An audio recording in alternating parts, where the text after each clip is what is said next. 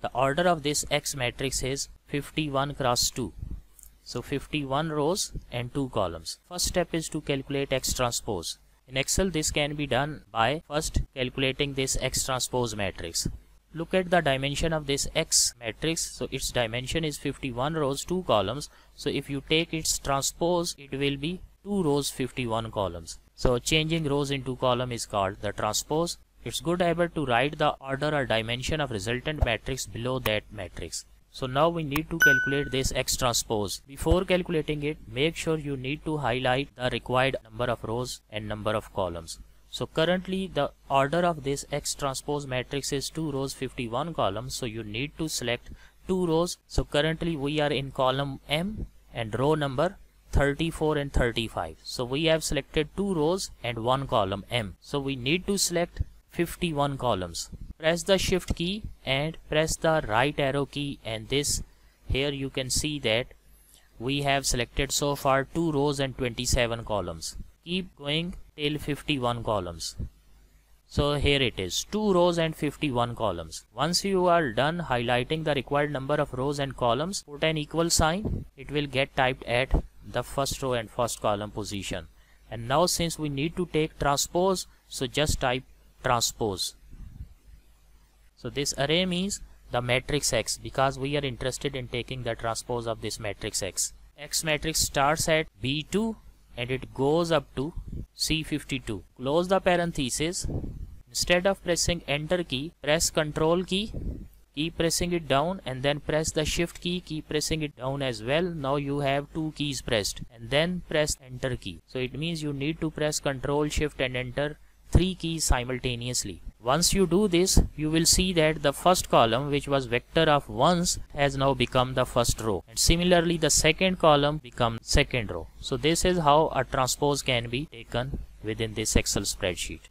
So now if you look at this formula we have calculated this X transpose. multiply this X transpose with X matrix. So right here X transpose X. So now again you need to add the dimension of this X transpose X matrix below it.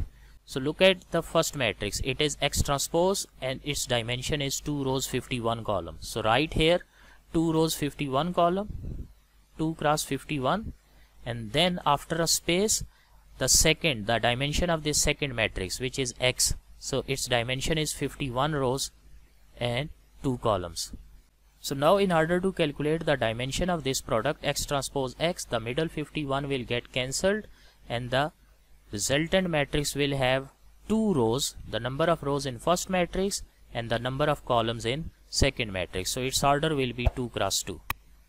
So it means now in order to calculate this x transpose x, you need to highlight, you need to select two rows and two columns. So currently we are in column M and row number 38 and now I have selected an another row 39 and column n as well. So we have selected two rows and two columns. Once you are done with the selection put an equal sign and then type m. M stands for matrix mult mult for multiplication. So this is the command excel to calculate the product of two matrices. M mult and now the first argument the array 1 it is x transpose and comma array 2 it is this x matrix.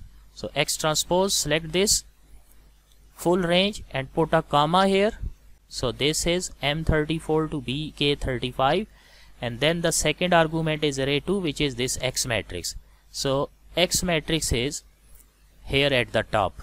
So it starts at b2 and it goes till c52 so once you are done with this so here are the calculations. So b2 to c52 close the parenthesis.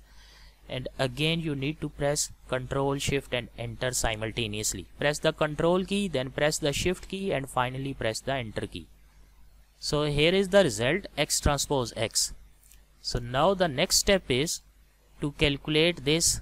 We have x transpose x. So now we need to calculate its inverse. X transpose x whole inverse luckily we have the command for finding inverse of a matrix in excel as well. So x transpose x inverse. Cap sign minus 1 we have this matrix. X transpose x. Its dimension is 2 cross 2 we need to take inverse of a 2 by 2 matrix. Recall that inverse of a 2 by 2 matrix is 2 by 2 so it means you need to highlight two rows and two columns in order to calculate inverse of this x transpose x.